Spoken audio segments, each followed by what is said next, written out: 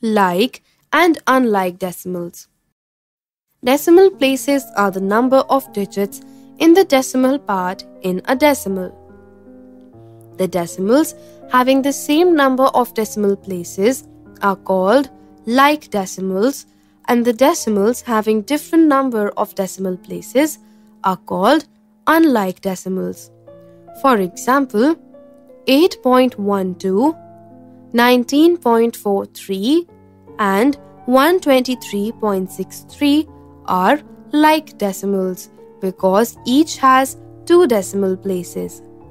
Similarly, 30.4, 238.56 and 5.329 are unlike decimals because their decimal places are different.